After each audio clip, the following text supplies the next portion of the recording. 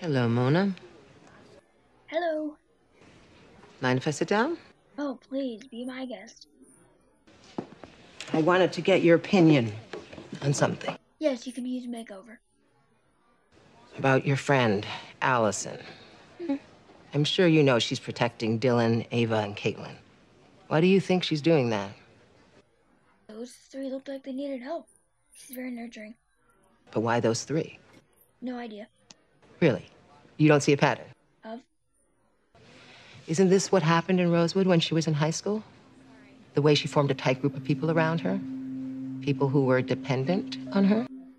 That's not a pattern, that's ancient history. I think it says a great deal about the kind of person she is. That she needs people to be committed to her, indebted to her.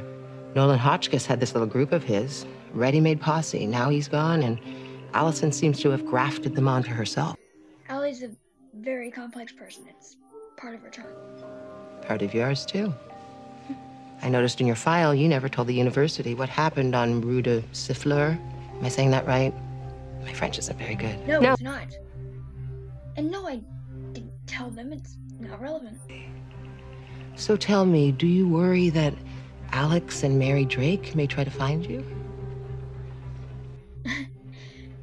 I have no idea what you're talking about. Got you in trouble with the FBI in the first place?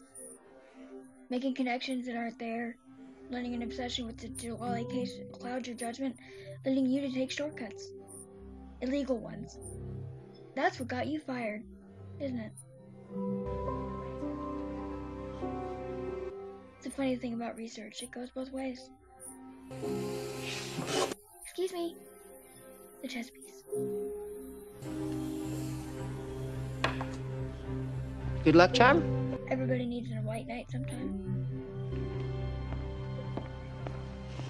But today, mine didn't show.